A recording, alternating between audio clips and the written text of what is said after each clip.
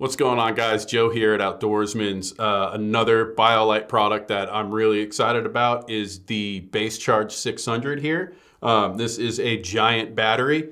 Uh, you've got 600 watt hours of power with this thing. Um, you've got uh, your regular wall outlets here, um, USB-C, USB-A, DC port, and then over here you can run uh, solar panels on it. These are sold separately, but uh, if you you know truck camping for a few extra days, um, get these solar panels, and then this thing will stay charged for most of the time. It's also got uh, mag charging on the top there, which is really cool.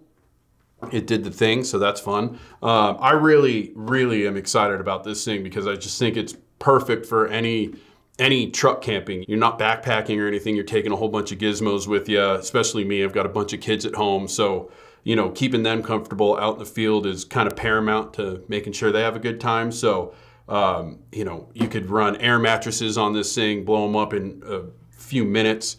Um, any sort of other electronics that you've got that you want to keep charged.